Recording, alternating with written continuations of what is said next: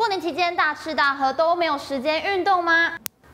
若你是跟我一样想待在家边追剧又想瘦身，教练有三招懒人健身操教给你。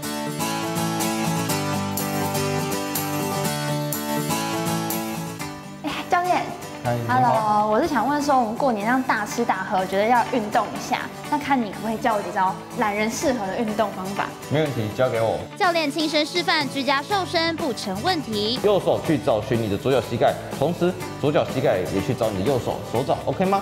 好，那我们一起做起来。右手去找你左脚膝盖，左脚膝盖找你右手，OK。回，那我们就坐下来，然后右手就可以放下来，我们就交换做两手交换。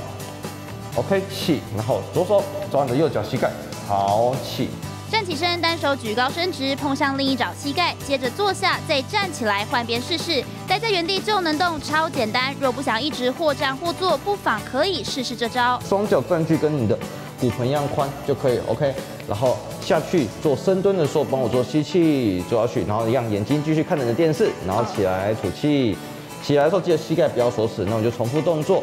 深蹲基本动作加上双手挂高，重复一组十次就会有感燃脂。要是流的汗不够多，还有进阶版。尽量不要用弯腰，用屁股坐下去，点到你的地板再起就可以了。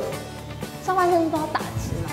对，帮我保持直的就可以了。双手碰向后脚跟，起身时臀部夹紧，也别忘记保持呼吸。累了流汗坐下来，教练加码教学，懒人最爱核心操。就是把你的双脚伸直，对。哇，会酸呢。哦，对。